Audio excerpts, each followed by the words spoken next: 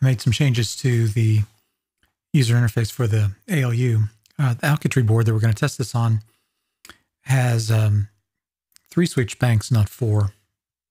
So I got rid of the X high switch bank and tied them all together. And then I realized, well, to play with negatives, um, let's just tie all these high or tie them to where they can be tied high or low. So in this switch bank where we were able to set all the flags, uh, I added, I had two switches left anyway, so that was easy to just go ahead and make it so we can make the upper um, part of the uh, X and Y input, uh, the high part high or low.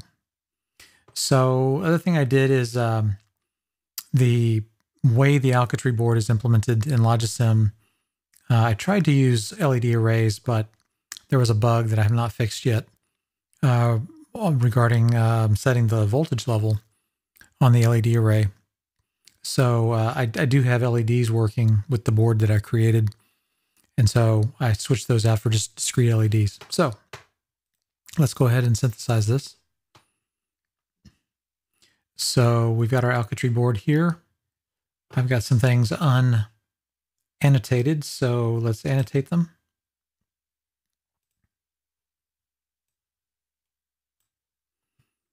Okay, so we're going to make our flags switch bank, this switch bank here. And we're going to make the uh, negative LED, we'll put that one there, I suppose. And then all of our output, we're going to make these 16 LEDs right here. So this will be 0,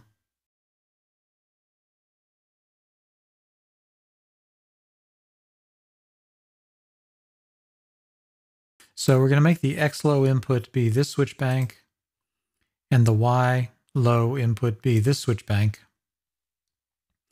And then we have our uh, zero flag, which will make this LED right here. So uh, I think that should do it. Let's synthesize and see what happens. Okay, let's load the design. It uh, finished. And um, the Alchitry board is a little different uh, because the um, Vivado product does not support directly loading it. The uh, Alchitry vendor provides a loader, and that's what this loader program is right here.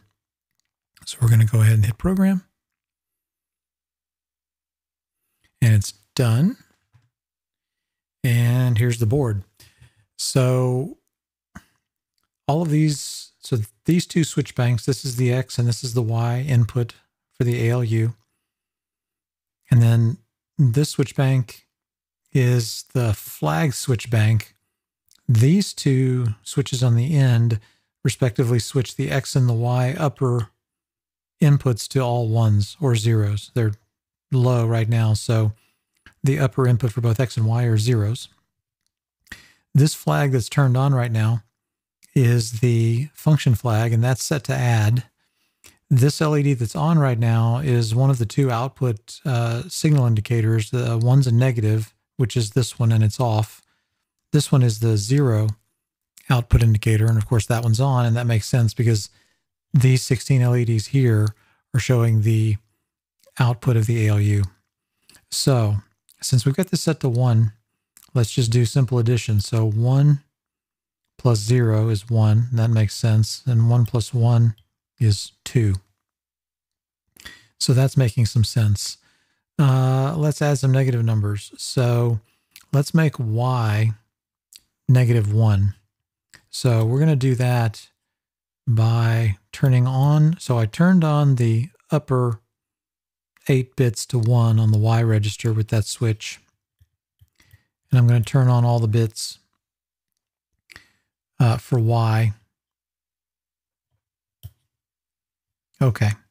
So we have negative 1 in the in the Y register here.